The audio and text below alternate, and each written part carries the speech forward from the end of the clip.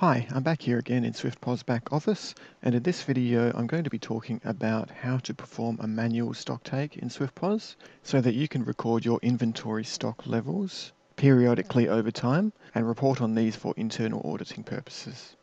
Many venues perform a stock take once a month, generally at the end of the month. However, depending on the size of your venue, you might like to do this more frequently or less frequently.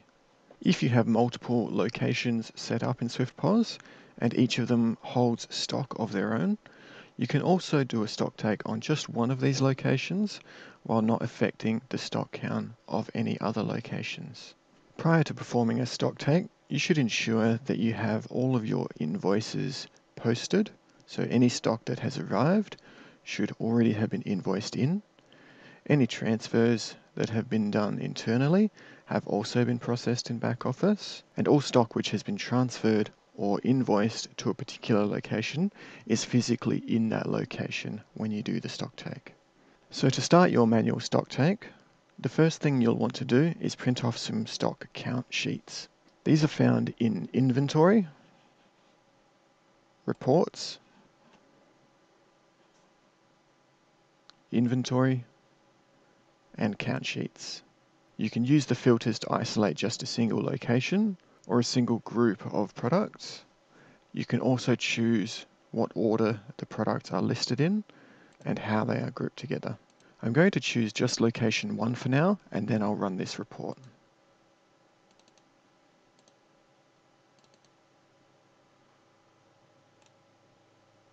Here we can see the count sheet which you might like to print off. It tells you what stock it believes you have on hand. At the moment, I have zero on hand for everything. It tells you the location reference number and it provides a space for your inventory count. Because stock of the same item might be stored in several different locations, you may come across it more than once, which is why you have space for multiple counts of that particular item, as well as a column for the total, which is going to be the sum of all those individual counts. So you can print this off, and then we can proceed with the rest of the stock take. The next thing you'll want to do is navigate to stock take and period end. And here we see the location lock screen, which currently has no locations assigned to it. So we're going to go ahead and add one by clicking on add in the bottom left hand corner. And we're going to add just the restaurant location. You'll be warned that the location will be locked and you can proceed with that. This means that any sales which take place from now until we release the location will not decrement your stock and likewise any invoices which are put in will also not increment your stock. Once we've committed our stock take and then released the locations, any stock movements will then take place to give you an accurate reflection of your current stock on hand. With this location locked, we can now head to count entry and now we can populate this list with our product count. And there are two ways that you can do this depending on how you've counted your stock and how many products you have. The first way is that you can add each row individually by clicking on Add Item to give you a new line in the grid where you can press Enter on your keyboard and choose the product. However, that's going to be a bit tedious if you have many different products. So we might like to use the Add Products wizard. I'm going to delete this row.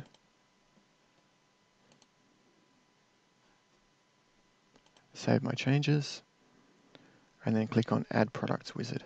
There are three sections in this wizard, and the filters that you see will be similar to the ones we saw when we were running the count sheet.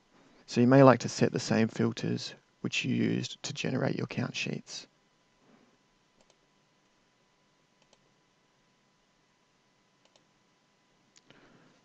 Once you work through that wizard, the grid will be populated with a list of all of your products, and you can start entering your count.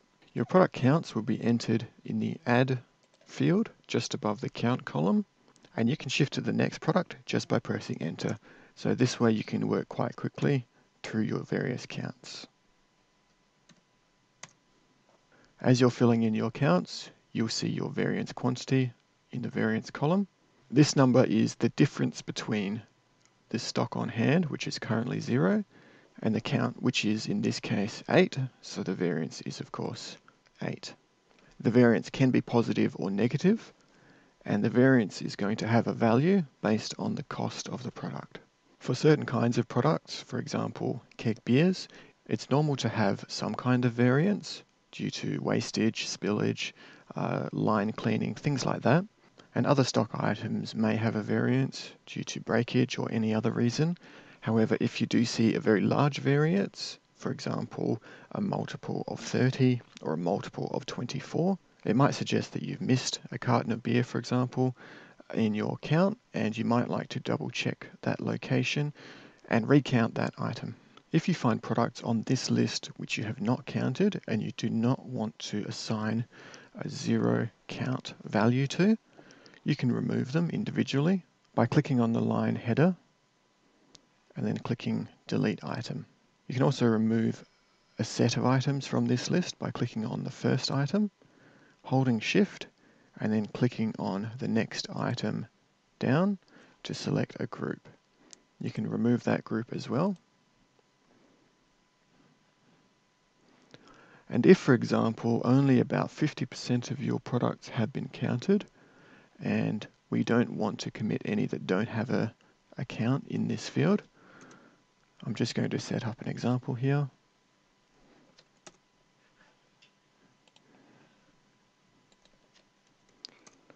So you can see that my counts are scattered randomly throughout this list.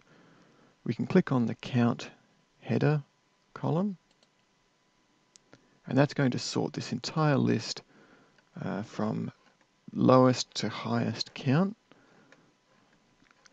leaving us with our positive values down the bottom and all of our zeros above that. So you might like to do that after you've entered your count and then simply remove all of the zero values. Again, holding shift and clicking on the top item, clicking on delete items. And now we're just left with the items with a count against them. Now I'm going to save my changes. And before you commit your stock take, there are a few reports that you might like to run. The most commonly run reports are going to be the variance report, the inventory theoretical value report, which is going to tell you your theoretical value if you were to commit the stock take as it is now. And you may also like to run a stock take report and keep that for your records so that at any time you can come back to that report and see exactly what was committed at what date on which products. Once you run these reports, you can save them to your computer or print them out. I'm going to skip over that now and we'll go ahead and commit this stock take. You'll be warned to check that your start date and reference ID are correct. You can click yes to proceed and you'll be asked to choose a location to save your stock count reports. These are automatically generated reports which SwiftPOS provides as these reports can't be run again at a later time to get the same figures. I'm just going to stick with the default location, which is in my documents, and click OK.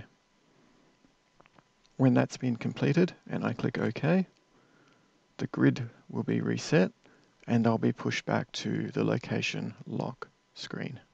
At this point, you can release your held location.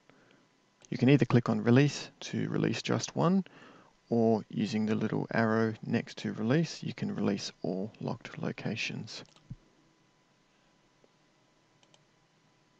At this point, any sales and invoices that were done in that time have now been decremented or incremented, and you can click on record period opening stock, which will make a record of what you currently have on hand so that you can report on that at a later time if you need to. We'll click yes choose a date if need be, and that stock take has now been completed. If you'd like to report on previous stock takes, you can do that in Reports, in Inventory, and Stock Take Listing. This should show you a list of all the previous stock takes that were done throughout the year or whichever date range you choose. And that way you can ensure that your stock takes are being done regularly, once a week or once a month, depending on your preferred frequency. Great, so that's how you can perform a manual stock take. In subsequent videos, I'm going to talk about how to stock take using a PDE stock taking device, as well as stock taking for multiple locations at the same time. I hope that's been of use to you. Thanks for watching and I will catch you in the next video.